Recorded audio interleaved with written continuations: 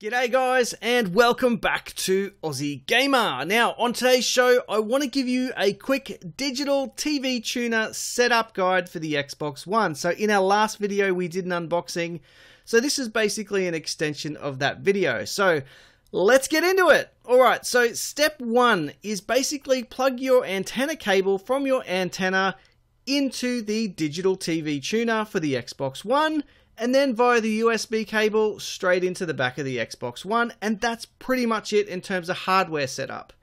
The next step, you'll notice that right here on screen about now is the, uh, I guess the notification that says the TV tuner has been detected and would you like to set it up? Now, of course we do.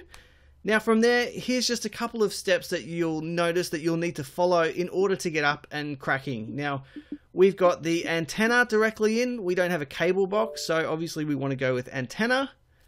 You then select your TV lineup. So this is basically your region. Now I think in the UK they had this set up via postcode. So from here, it's pretty simple. It just describes which region that I'm in in Australia. Now I'm based in Brisbane, Queensland. Um, so I'm just scrolling down here to find uh, Queensland and Brisbane. So there it is there. Click that one.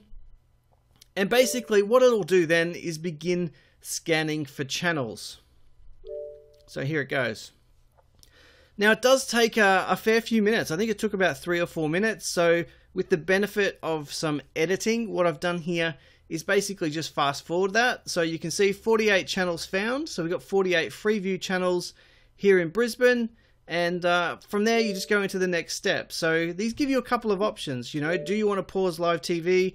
Yes or no. So I think that's a pretty cool feature to have. So I'm going to go ahead and leave that on.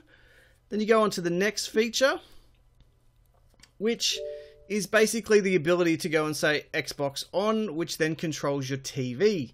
So I, uh, I think that's a really cool feature and I definitely want that on. So you get the option then to select the brand of TV you have. So I've got a Samsung. And then it runs through a couple of, of tests.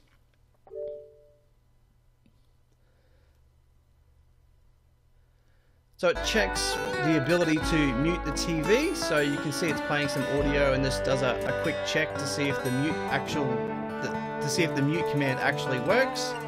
And it does. So, uh, so our setup is basically good to go at this point. So there's a couple of options here. Now I don't want to be uh, to be tracked uh, in order to improve my TV viewing experience. I think I know pretty damn well what I like. So, uh, so I don't need some uh, someone in the background monitoring my TV, so I'll just go ahead and select no on that one. Now here's an interesting one. You get the option to either go straight to TV when you turn your Xbox on or go straight to your home page. So I like the, the home page as it's currently set up. Look, I may change that in the future, who knows. But right now I'm happy for the Xbox to go home. And, uh, and this is a bit of an introduction to the One Guide. So what I've done here is I've just, I, I, guess I've edited it a little bit just to make sure you guys know exactly what's going on. But uh, from here, you just go straight into the one guide. And, uh, and this is basically what it looks like for, for Australian. So you can see uh, channel 1, ABC's there, channel 7, SBS, channel 9, channel 10, channel 11, which is basically another version of 10. We've got some awesome home shopping network channels uh, and a couple of bits and pieces for the kids, news, more SBS channels.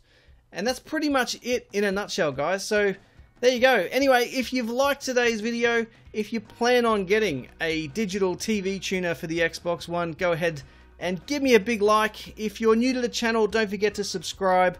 And as always, guys, get involved in the conversation via the comments section down below. Alright guys, I will see you all in the next video.